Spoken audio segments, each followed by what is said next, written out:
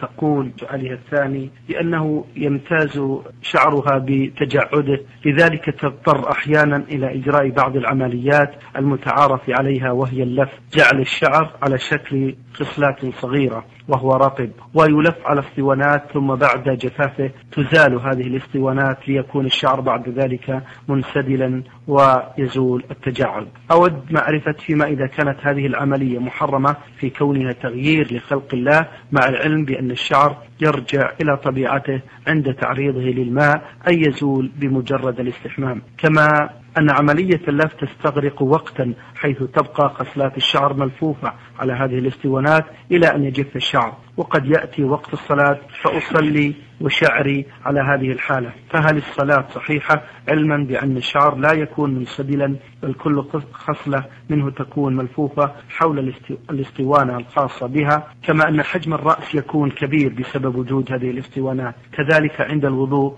أعمد إلى تغطية رأسي بقطعة قماش وأمسح من فوقها حتى لا يتأثر ويفسد شعري بالماء وذلك بالاعتماد على قول عمر بن الخطاب رضي الله عنه من لم يطهره المسح فوق العمامة فلا طهره الله. توجيه فضيلة الشيخ حول هذا السؤال. الذي أرى أنه لا ينبغي للمرأة أن تضيع أوقاتها بمثل هذه الأمور التي لا لا تكتسب منها شيئا. اللهم إلا جمالا موهوما في مدة معينة ثم يزول. وهي في هذا تخسر وقتا كثيرا من وقتها وتخسر مالا حسب هذا الدواء أو هذا الشيء الذي جاءت أو هذا الشيء الذي جاءت به. فنصيحتي لها أن تدع مثل هذه الأمور وأن تقبل على ما ينفعها في دينها ودنياها وأن لا تكلف نفسها مشقة هذه الأعمال. ولكن لا أستطيع أن أقول أن أقول إن هذا حرام. ما دامت تقوم بالواجب عليها من مسح الرأس مباشرة بدون أن تضع عليه هذه المنديل. وأما ما ذكرت عن عمر فلا أدري عنه. ولكن عمر